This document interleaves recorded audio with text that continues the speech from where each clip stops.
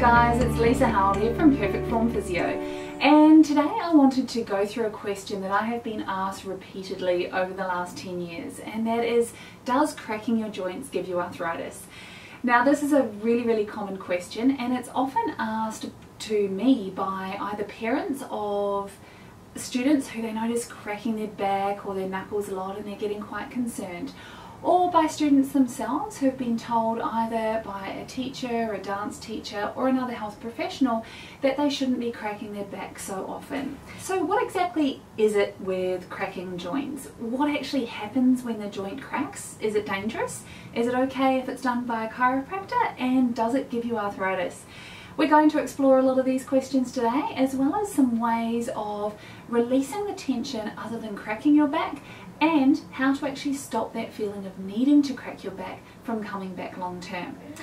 So the first thing we need to explore is what actually happens when a joint cracks.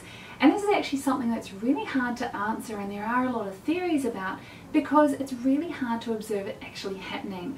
Obviously we can't just cut open someone while they're still alive and awake to see what happens when a joint cracks and if we put somebody un under anaesthetic or if we try to do it on a cadaver, it's very hard to make the joint actually make that same sound. So it's very hard to watch what actually goes on. But the theory that makes the most sense to me is that it's the release of suction or a vacuum around the joint.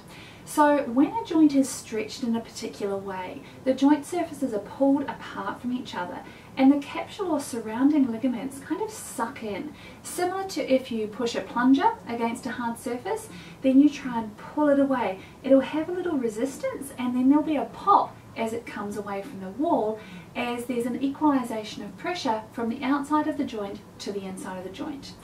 Now when this happens in a joint, that release of pressure usually happens by a separation of fibres in the ligament or in the capsule, which at the time feels wonderful there's a lot of release of pressure and it usually feels like you can actually move a whole lot more.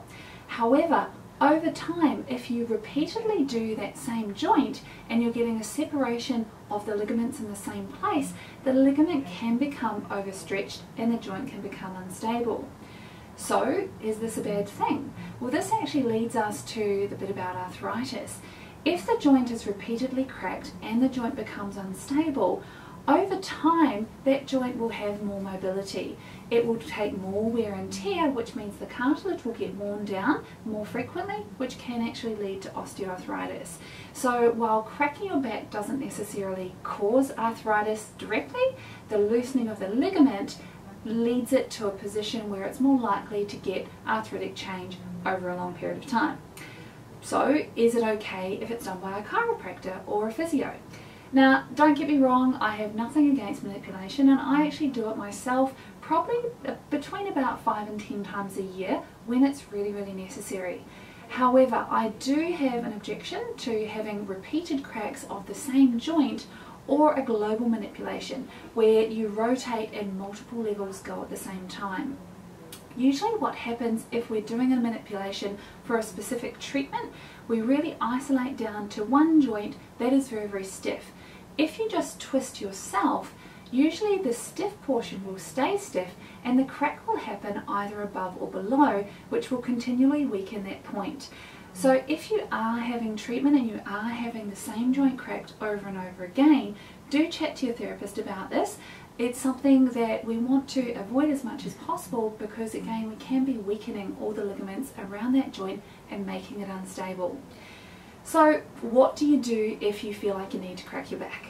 Now I personally know just how hard this is to avoid cracking your back. I am a reformed cracker. I used to crack my back multiple times a day um, even before I went to physio school and then when I went to physio school all my friends loved practicing on me because I made a really loud crack. However, leading up to exams, when I was having this done quite a few times during the day, I started experiencing a lot of pain due to instability in my back because my ligaments were getting so stretched and I didn't have the control to stabilize my spine. It took me about four years after that to actually learn how to isolate the right muscles in my spine to stabilize it so I didn't have pain. And during this time, I would have to crack my back. Now I know how hard it is to go cold turkey, um, so there are some strategies that I've developed to make it easier to cope with this. There are some gentle stretches that we can do that can help release the pressure that you're trying to release with the crack so that you don't feel like you need to crack. But the most important thing is actually learning how to stabilize the small muscles either side of that joint so that there's not resultant pressure on the joint when you want to crack it.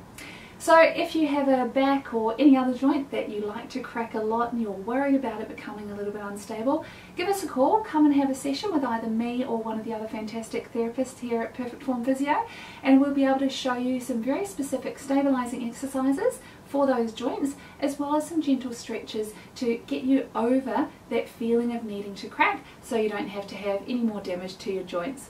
I hope you enjoyed this please like or comment on the spaces provided and share with your friends, especially if you have somebody who cracks their back a lot.